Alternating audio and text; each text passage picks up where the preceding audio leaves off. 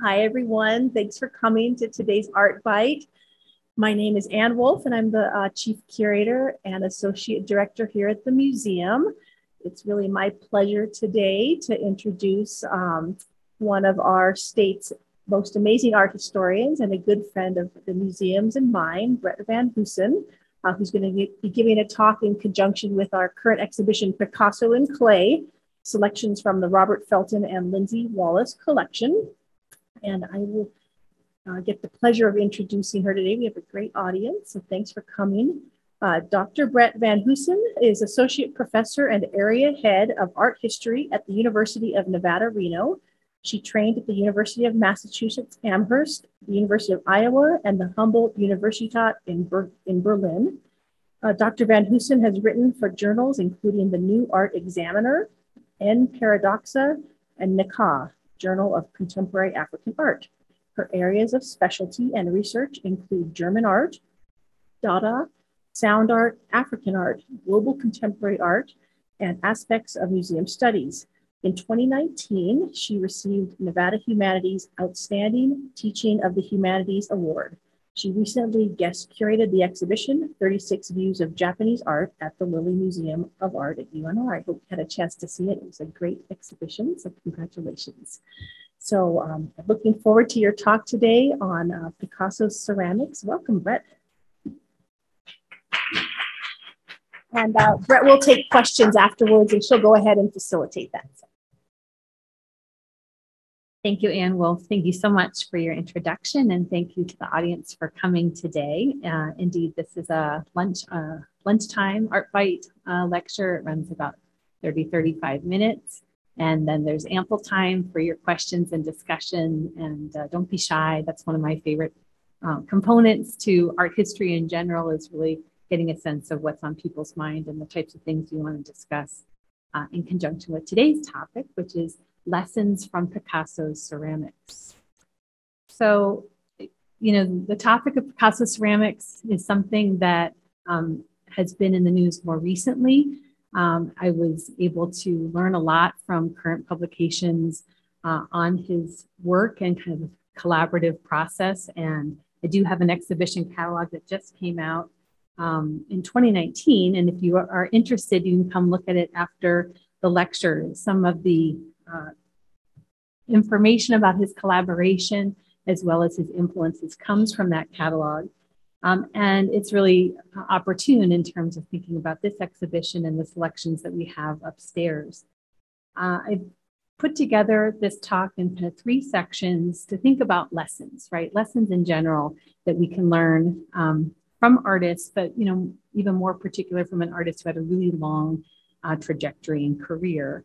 And I've divided it into the importance of playfulness and experimentation, the culture of collaboration, and then thinking about inspiration. Where does it come from? How does it manifest? Um, and the importance of talking about those um, influences on an artist's career. So we'll start with a quick fact sheet, sort of thinking about um, Picasso and ceramics as a topic. It's, um, like I said, something that comes into his life um, more prominently in the 1940s after uh, the Second World War. Uh, Picasso viewed in 1946 this ceramics exhibition in Vallauris, a town in southern France that was known for its rich artistic heritage, specifically with ceramic arts. Um, and there he met fortuitously uh, Suzanne and Georges Ramié, who are owners of the Madoura Ceramics Workshop. And they really helped to facilitate his work uh, in this medium uh, also were responsible for aspects of the sales of his medium, and that was kind of the collaborative agreement that they had. So Picasso worked for over 25 years, from 46 to 71, during which time he completed uh, nearly 4,000 objects or ceramic works, uh, as noted upstairs in the exhibition. He also uh, chose to make a permanent residence uh, in the south of France and uh, bought a villa in 1949 there, was able to establish a studio and that then enabled him to really have much more uh, of an engagement with ceramic arts. He also, I think it's interesting to note, did a series of drawings with a whole sort of generation of the works that we see, some of which you'll see here today. Uh, and those drawings date from 46 to 53. And so it's not as if, you know, he's just working with clay. He's oftentimes working kind of preparatory sketches. So that's a little bit of the fact sheet about Picasso and ceramics. So to start with the first topic, the importance of playfulness, playfulness and experimentation. I think it's really important uh, for us all to remember that uh, those two things are important for the creative process. Uh, and keeping grounded in that idea of playfulness and experimentation is something that was characteristic of Picasso's long career. I think part of it comes from the fact that he was trained very early on, partially by his father, in a very academic tradition. And so I juxtapose these uh, two works to reinforce something that he created as a 13 year old versus something he created as a 65 year old. Um, and there's a you know very famous quote that Picasso said it took him roughly four years to become an academic artist, and it took him his lifetime to learn how to you know create and paint like a child. And I think this juxtaposition reinforces that um, idea. Turning to playfulness and experimentation also evolved much, you know, in Picasso's career after he had already, you know, looked to the styles of the time. So he moved as a young man to Barcelona, uh, where he was influenced by artists like Toulouse-Lautrec. He then moved to Paris, and in this early time period of his life in the 1900s, um, he basically was, you know, engaging with, you might say, mimicking, creating dialogue with uh, the art of the time. And again, we think about artists like Toulouse-Lautrec uh, and Matisse, and many others who had played a strong influence around this time period. And so, in order for him to kind of evolve and get into a, a style of his own, he had to kind of go through these sort of academic training into the contemporary art and then get into what we, we know uh, associated with his more unique style of the blue period, where he uh, is really interested in figurative work, including this portrait of his friend Casagemas, in a juxtaposition, sort of thinking about the meaning of life. His friend had just passed away, and so he's thinking about this very deep and um, tumultuous topic.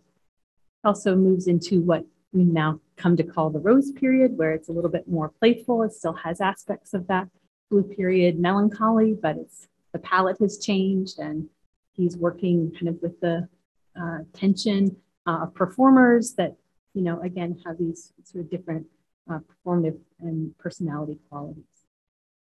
And then, really, around the time period of 1905, he starts to move into uh, a time period that I think has a lot of influence that carries over into how we might talk about um, cultural influences on his work in ceramics. He turns to uh, ancient art of the Iberian Peninsula, looking at sculpted heads. Those play a really integral role in his portrait of the famous American poet Gertrude Stein, You'll see a photo of her with her two brothers, Leo and Michael, there to kind of give you reference to you know, her actual look versus Picasso's rendering. That sort of simplified eyeline uh, and facial features, again, come back to those uh, influences from Iberian sculptures.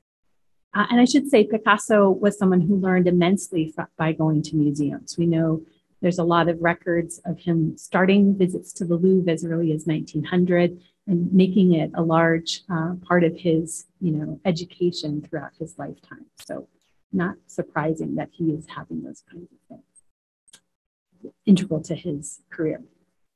The other thing that I think is important about playfulness and experimentation is to remember that it's embedded in one of the most famous movements we associate with Picasso, and that's Cubism. Analytic Cubism, uh, as it developed with uh, Picasso and Georges Braque, who we'll get to in the next section, um, really was looking at this idea of what does it mean to think about three-dimensional and fourth-dimensional time components to a composition, which is to say you might look at the sitter, in this case, uh, Ambrose Vollard, uh, one of the dealers actually of Picasso's work at the time, um, and to sort of think about his sort of physical structure and sort of recreate it on a canvas in a much more abstracted way.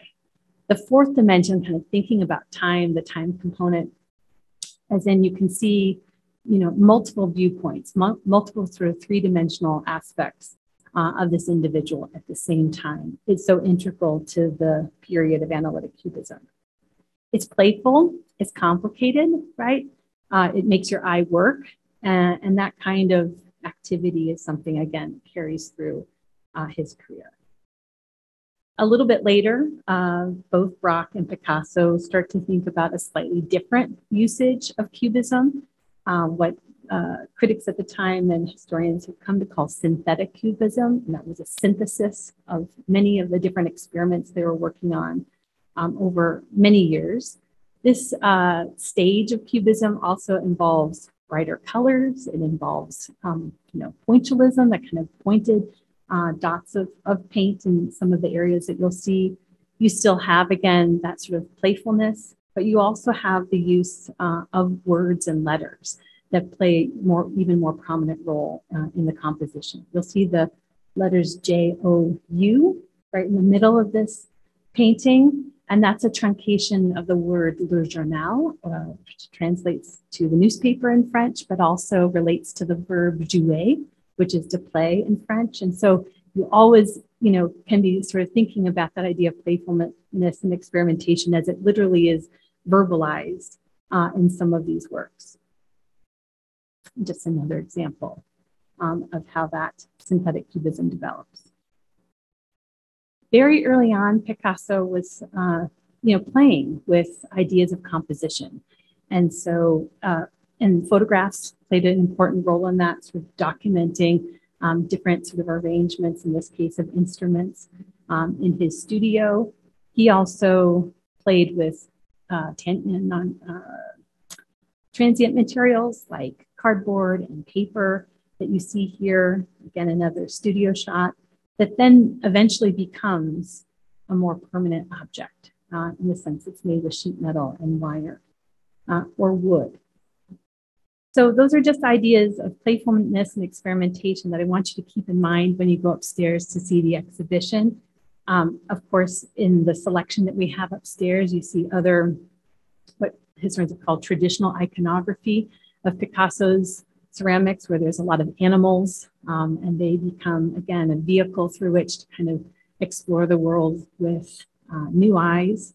And so while he might not be creating instruments, as we see in the many phases of, or still life in the phases of uh, Cubism, we do see there's this inherent playfulness and experimentation that's so important to this practice that happens in his 60s through his 80s. The second topic, the culture of collaboration. It's really important to understand that Picasso's work um, in ceramics owes much of its um, success to the Ramié family. Uh, and there's a lot of discussion in the current uh, newest exhibition catalog of his ceramics that talks about his connection with Suzanne Ramié. She was a ceramicist. Um, she also drew upon uh, long, rich visual heritage of ceramic practices, not only of the region, but also in terms of ancient Mediterranean sculptures. She shared catalogs and postcards with Picasso. And so we know there's much more of a strong collaboration, uh, artistic collaboration between the two of them talking through different objects. Um, Georges Ramié also was in the studio oftentimes when Picasso was working um, a lot of the platters and indeed the vessels were pre-thrown so he could work with them already made. And then some were manipulated as well. So there's a real importance of collaboration, both artistic and also practical in terms of the work that we see. Um, but this is also predated with a very rich collaboration that Picasso had with Georges Braque, uh, a fellow painter who was from France, um, who he worked with in the early part of the 1900s. Uh, Picasso had a studio at the Bateau Lavoir. It's also where he lived for a period of years. Um, there were a lot of artists in that environment. And so it helped to kind of create and foster this sense of discussion and collaboration that we know emerges to have, you know, sort of close um, resonance in terms of Braque and Picasso's work in 1908 and 1909 when they're just starting to really sort of think about three dimensionality and those sort of language um, that they're that's eventually going to evolve into analytic cubism.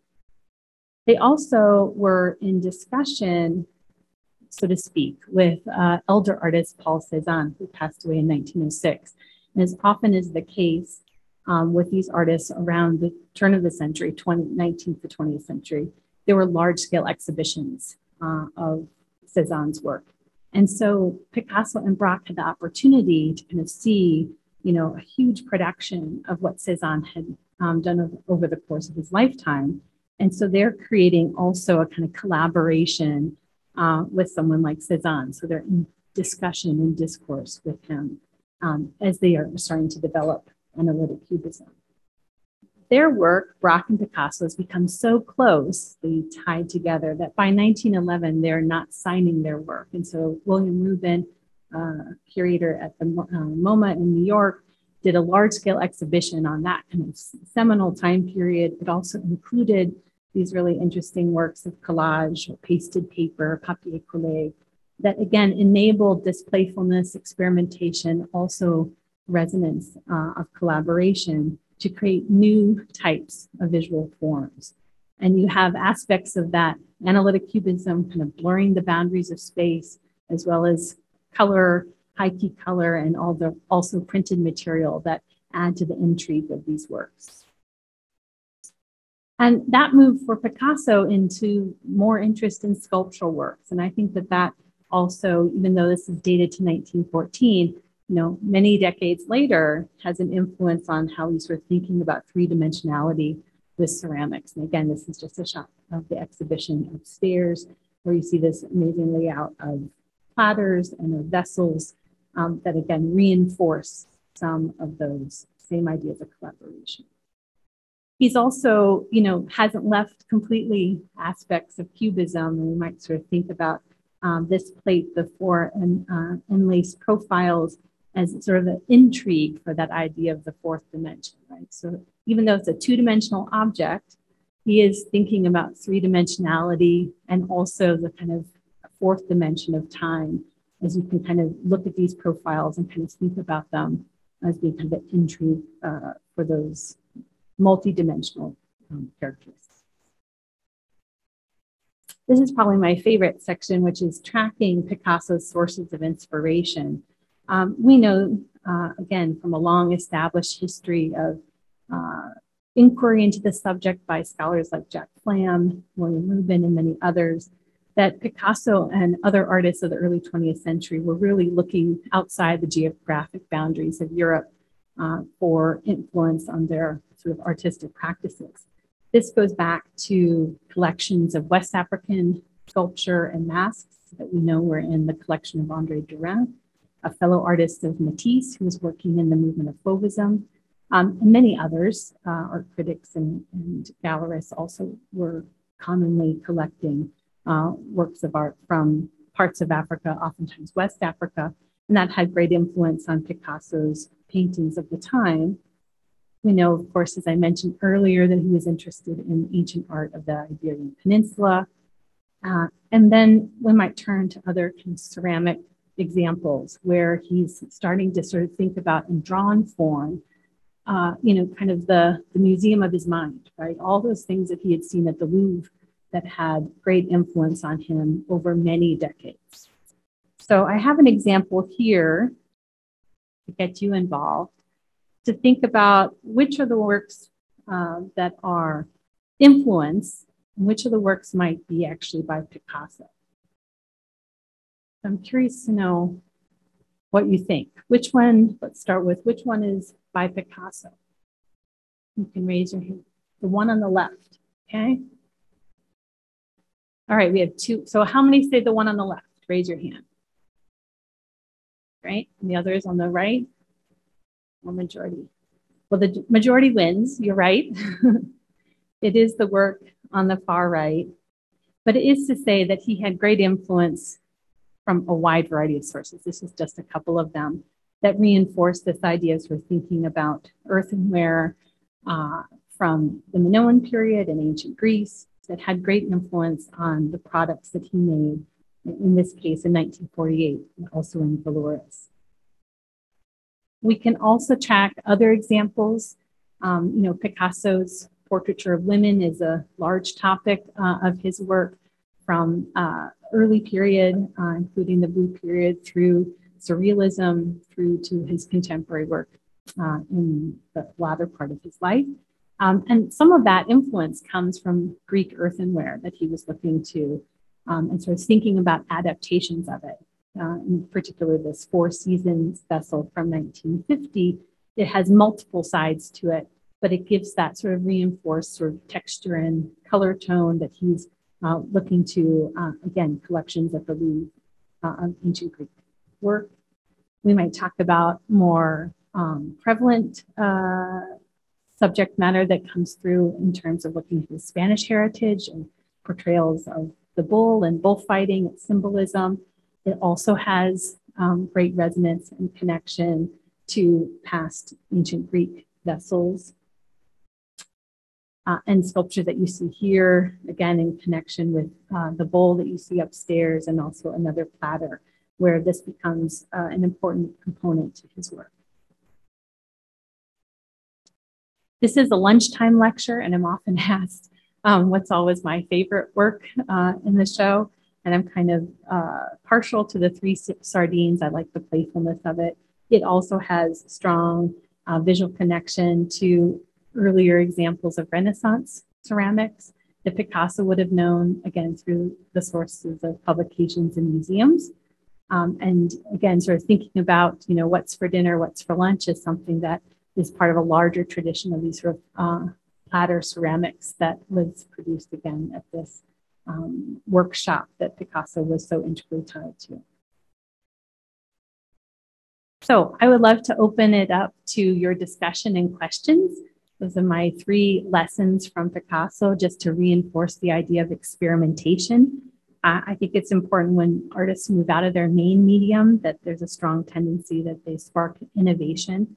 Uh, it, it, helps to sort of create fresh eyes that also um, transitions into other work, helps them to kind of think about new traditions and to um, you know move out of the sort of the tensions they might have in their main field. Picasso himself was very interested in those types of explorations. He worked in drawing and printmaking, painting, uh, ceramics, and sculpture.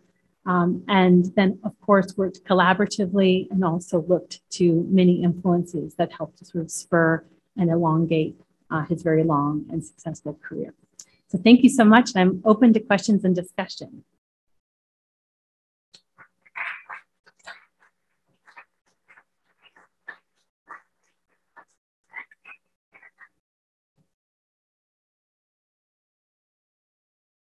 Yes, please.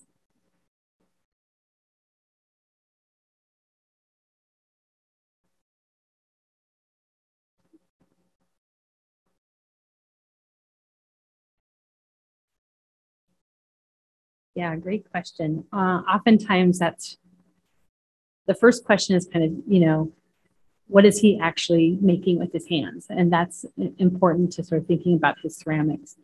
Um, a lot of the vessels were in plates were already made, so there was a coterie of products that the workshop, um, Madoura workshop, helped establish. So you can see in some of these uh, photographs here that you know, he's working with a pre-made plate and then he's working oftentimes with slip, which is a, you know, a liquid um, clay that helps to build up a drawing, if you will. So he's oftentimes, again, kind of engraving in uh, a freshly made plate and then adding that slip to add that emphasis. And you see lots of good examples upstairs. Um, some of the vessels were pre-thrown, but then he was able to sort of move and adapt them. And that includes these birds, uh, bird size and bird uh, objects um, that he's working with. So, you know, the majority of it is that that's where his collaboration. It's so key that he has that ceramic studio already established. They're helping to make a lot of those pre-made forms, and then he's adapting them. Um, there are also instances where he made designs, and then the structures were made, the vessels were made, and then he's able to go in and paint and decorate them later. So many layers of that kind of engagement. Yeah. Good question.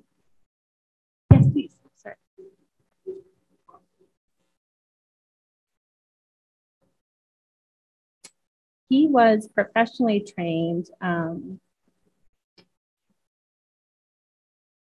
so he was formally trained in an uh, academic environment. His father was uh, our professor So he learned, um, you know, to render the human figure in a highly realistic fashion.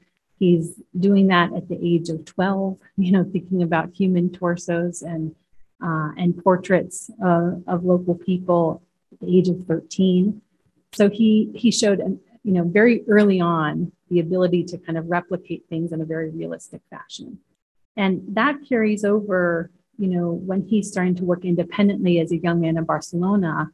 But he's also then turning to art of the current time period by artists like Toulouse-Lautrec to kind of take that same um, prowess in terms of knowing how to replicate reality, but then also to borrow from other, you know, current um, post-impressionist and Fauvist um, designs.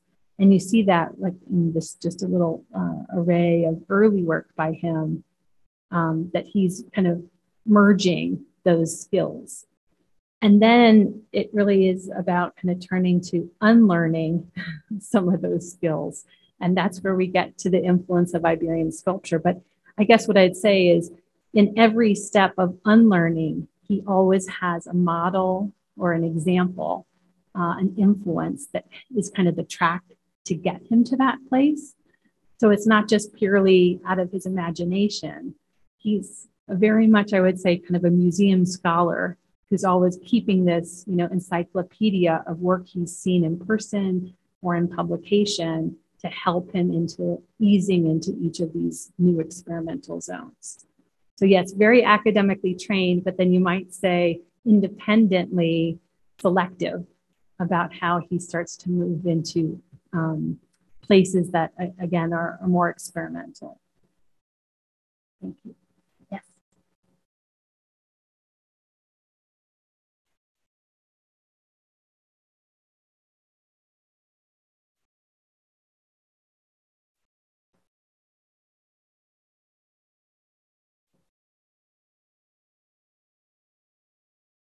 Well, it's a good question. Um, let me come back to another image here. Yes, the question was um, that he produced about 4,000 works during this time period of 1946 to 1971. And, you know, is, is there more after that?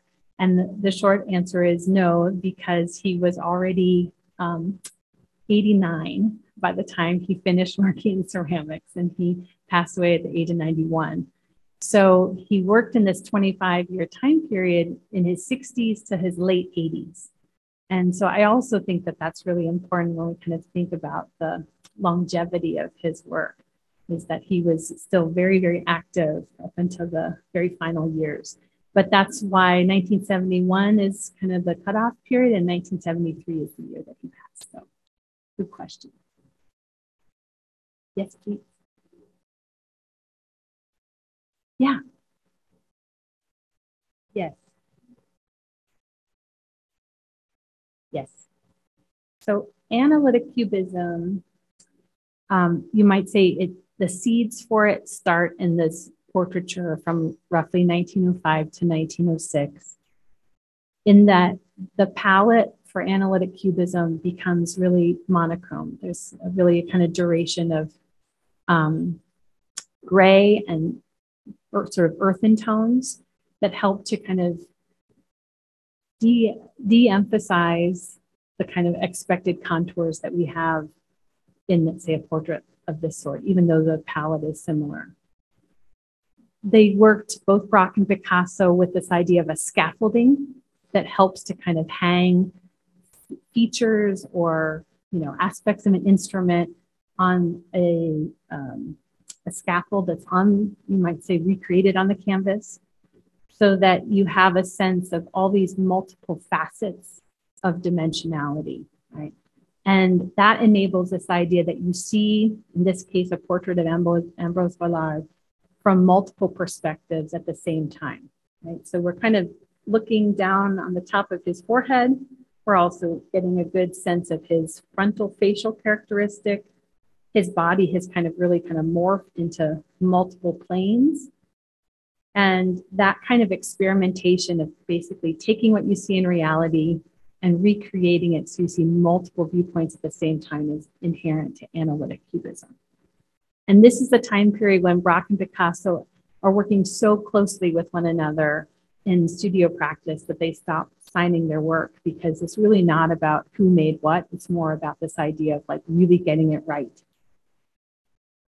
Synthetic cubism has been characterized as synthesizing many more components. So it still takes that aspect of analytic cubism in the sense that you see an object, in this case, in a still life, from multiple perspectives. But now you put it back into some of the characteristic expectations of the genre of still life, right? We see that these objects are on a table of sorts, even though the table is slanted towards us. You do see that it's a collection of objects, so they're a little more identifiable. The palette changes, it has higher, sort of more vibrant colors.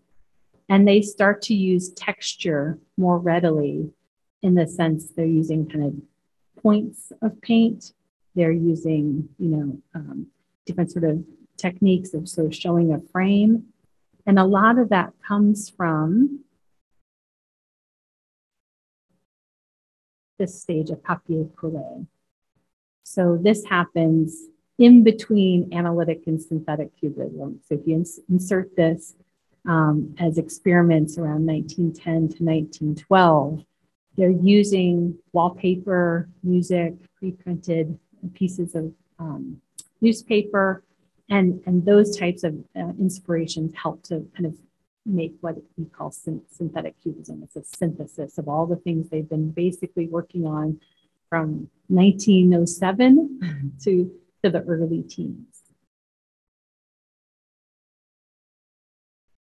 There are many others. There's Juan Gris, there's many other painters that start to work in that phase, but a little bit later. So Braque and Picasso really are the ones that are starting to create a trend.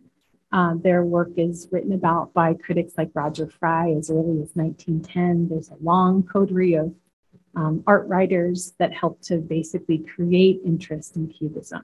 It also, um, in some ways, becomes an albatross. It's like the actor who stars in a in a key role, and you, that actor is trying to get away from that persona. Uh, so Cubism became a real sort of solidified movement in arts literature in the teens. And then it became something that, again, I think that work of playfulness and experimentation working in ceramics kind of helped to, to quell that idea that he was only linked to Cubism. Great question.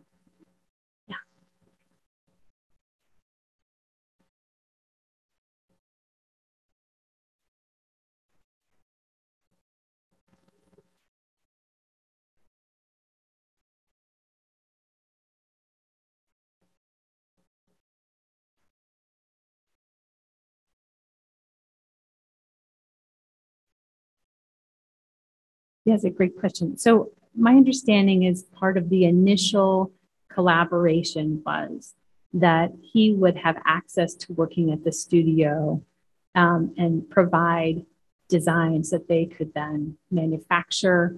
And then the collaboration um, was linked originally to sales. But you know, 25 years is a really long time period. And so what evolved was also kind of artistic collaboration.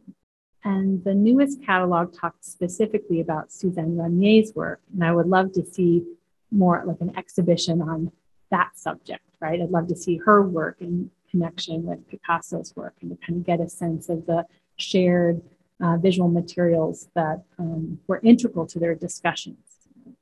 Uh, there's a specific catalog um, that she of, uh, an exhibition that she saw that that she then shared with Picasso, for example. And you know, things like that would be really interesting to learn more about and how long those discussions lasted for. Um, I think the fact that he was actively sketching from 46 to 53 is kind of the key time period uh, when I would expect that their collaboration was maybe the closest. Um, and so, yeah, it opens the door to a lot more research. And some of the essays in this newest catalog you know, are really looking at those archival materials. And there's a lot of documentation, surprisingly so, of the things that were in each of their collections. So, more study. yes. yes, please.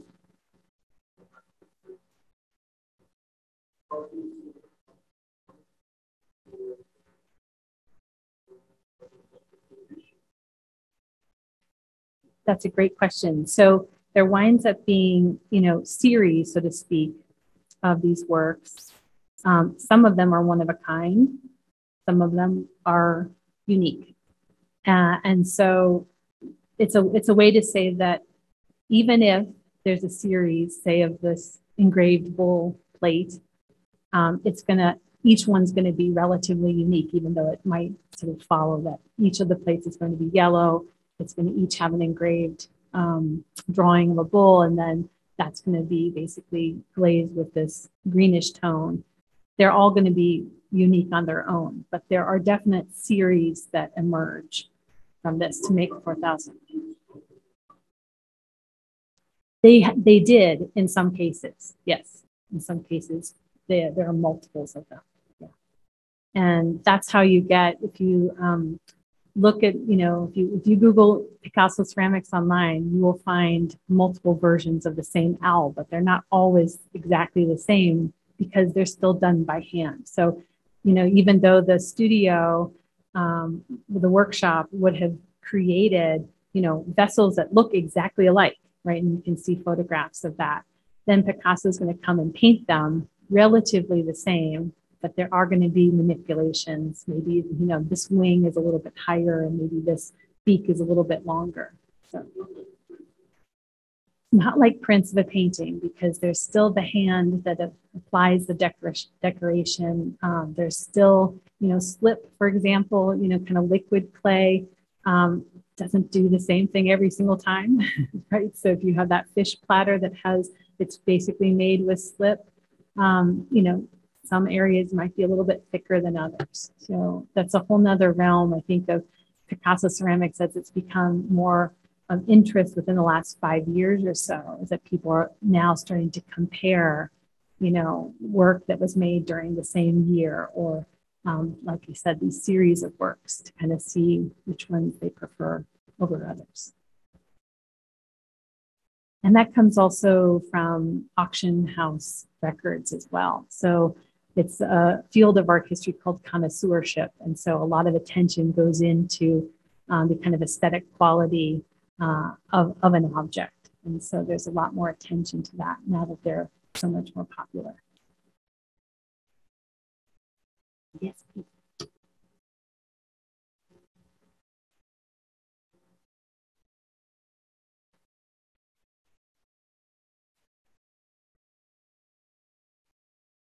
Yeah, that's a great question. How does he um, turn to birds uh, in particular? I think um, the examples I brought in of sort of seeing, thinking about these sort of figurative vessels had a really strong um, connection to a history of ceramics that dated many centuries earlier. But uh, Picasso was also interested in the topic of peace doves. This was a popular topic that he painted and, and drew and worked in prints on. Um, the vessel shape, as you say, also kind of lends itself to that imagination. Um, I also think it's an opportunity from, for him to break out of some of the expected content that he had done over the course of his career. So you'll find upstairs um, the topic of goat, birds, fish, other animals that kind of spark the imagination and reinforce this kind of playfulness and departure from what might have been kind of his more serious day job or serious uh, evolution in painting, right? Um, when we think about uh, cubism, for example, there are no birds in cubism, it's much more this idea of the genre of the still life and the figurative sort of uh, portrait. Um, and so ceramics lends itself to thinking more about um, these playful subject matter that, again, do have resonance in terms of other models, but also allow for that creativity um, to come through. And I think that's the role of those birds plays that integral role.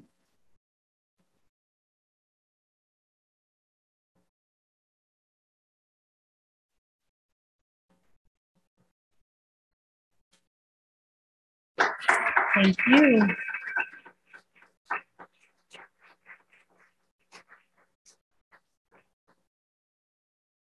Yes, thank you for coming and head upstairs again to get another view of the exhibition.